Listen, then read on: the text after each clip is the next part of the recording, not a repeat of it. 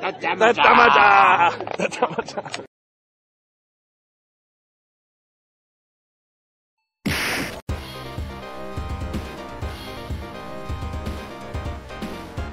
Colonel William F. Guile, known affectionately to his closest friends as Gully. A force to be reckoned with in his younger days, Guile was the master of many unique abilities. Able to hold any ballet pose for an entire minute. Remarkable dexterity with invisible handcuffs. Throwing magic. And even complete invincibility. And now, the master himself will teach you his killer techniques. I must apologise for that ridiculous intro. I'm Fluxcore from NZism.com, and I'm going to walk you through Guile's many glitches in Street Fighter II World Warrior. Free Sonic Boom. Guile throws a Sonic Boom without needing to hold back to charge. Perform a strong throw, then continue holding the same direction and press any punch button just after recovering from the throw. You can walk forward a little and still get a Sonic Boom out. While this isn't particularly useful on its own, it can be combined with some other glitches. Stance. Guile becomes stuck on a recovery frame of his upside down kick. While having most of the charge for a sonic boom, press back and roundhouse while near an opponent to perform the upside down kick. During the animation, press towards in any punch for a sonic boom, and Guile will freeze near the end of the animation. While Guile can be hit out of stance, this frame of animation has no low hitbox, so is invulnerable to most low attacks. If time runs out or you KO the opponent into stance, the game won't continue until you escape stance. Escape stance at any time by performing a flash kick. Some computer opponents will react to stance in certain ways, which can allow for good setups into other glitches, e.g., Zangief may lariat just out of range repeatedly in front of you, also as just spams various punches. Claw can uselessly slide at you repeatedly. Ken usually whiffs a Dragon Punch. Dictator will often slide once, which won't hit. Stance looks cool, but is not generally useful, but is a requirement for other glitches. Magic Throw Guile throws the opponent without touching them. For a magic throw away from you, while in range for the upside down kick, charge a sonic boom, then walk slightly forward. Then press roundhouse, followed by fierce or strong one frame afterwards. The button presses are exactly like plinking in Street Fighter 4. I do this by hitting roundhouse with my third finger, followed by my middle finger on fierce. For a magic throw towards you, while in range for the upside down kick, charge a sonic boom, then quickly tap forward then back on the stick, then press roundhouse followed by fierce or strong one frame afterwards. The towards magic throw has slightly less range due to not walking forward before the button presses, but as the opponent is brought towards you, follow ups are more possible. Regardless of whether you use strong or fierce, the magic throw is a strong throw, and the free sonic boom glitch works after it just like a normal strong throw. And since magic throw is possible off a sonic boom charge, you can use the free charge for subsequent magic throws too. As long as they're still in range, you can keep magic throwing until they are dead. For repeated magic throws away from you, perform the initial magic throw, continue holding forward, and tap Roundhouse Fierce at the right time. For repeated magic throws towards you, perform the initial magic throw towards and continue holding back, then tap forward, back, Roundhouse Fierce at the right time.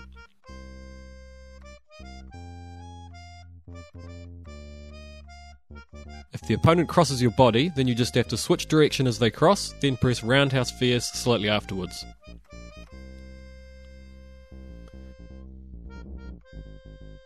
Extra tricks with Magic Throw. As a throw, once the magic throw is started, it is completely invincible, and nothing the opponent can do can escape it. Not jumping away, not dragon punching, nothing. Anti air flash kick often leaves the opponent near enough for a magic throw or three. Ticks into magic throws are very nasty. Claw can be magic thrown off his cage. Blanka can be magic thrown out of horizontal ball. Magic throws can be performed on all three bonus stages, and much more.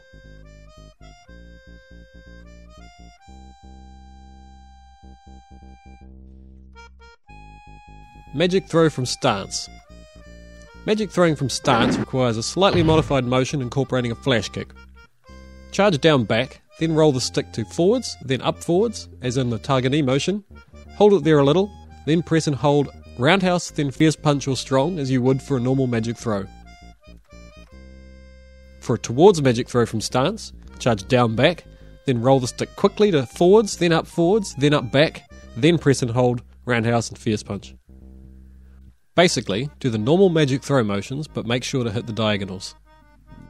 Magic throwing from stance can be useful on its own, but is also part of other glitches. Handcuffs. Guile throws the opponent, who then becomes frozen and stuck to Guile.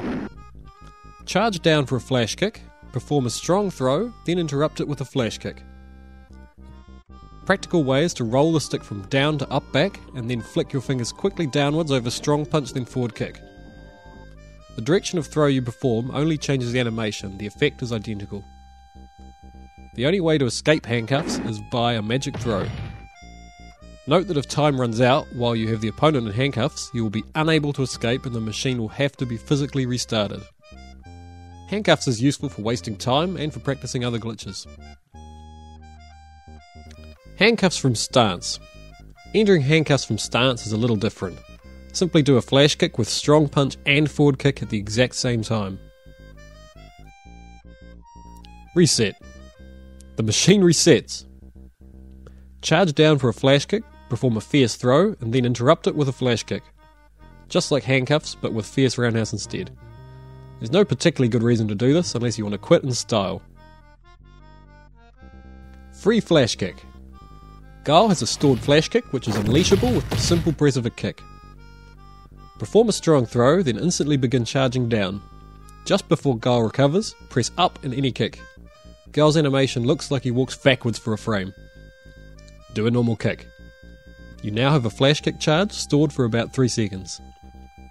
Press any kick button while grounded to do a flash kick. This includes after jumping or walking forward, while crouching, in a combo, basically whenever you could normally do a flash kick. You can even use this free flash kick to perform the handcuffs or reset glitches, Simply do a strong throw and then press any kick for handcuffs, or do a fierce throw and then any kick to reset the machine. Fake magic throw.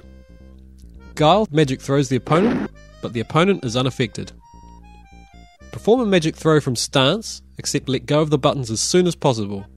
Holding the buttons for longer than 3 frames will perform a normal magic throw. Fake magic throw from handcuffs actually shows the animation throwing the opponent, but they re enter handcuffs. Usually fake magic throw is just for showing off, although it is essential for the final glitch. Invincibility. Guile becomes frozen in place, but is totally invincible. The useless invincibility is entered by performing handcuffs, then holding the direction of the throw you are doing, and then pressing the opposite direction and punch for a sonic boom just before recovering. So, if you enter handcuffs holding up back, continue holding back then press forward and punch. This invincibility is pretty useless because while you are invincible, the opponent is also stuck in handcuffs. But it is good for practicing the timing for the real invincibility. The proper invincibility is achieved by entering stance, then performing a fake magic throw when the opponent is within upside down kick range. Continue holding the direction of the throw, then perform a sonic boom in the other direction just before recovery, as in the other invincibility. Guile is now completely invincible. No attacks or projectiles will affect him, and he is also unthrowable.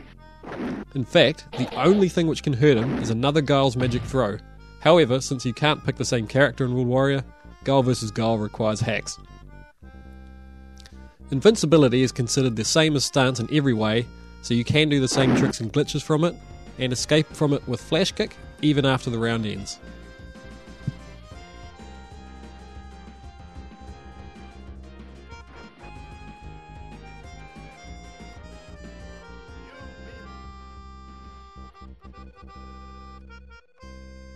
Now you have a comprehensive repertoire of Guile glitches in Street Fighter II World Warrior. Try them out, none are actually all that difficult. And try them in combinations, it's a lot of fun.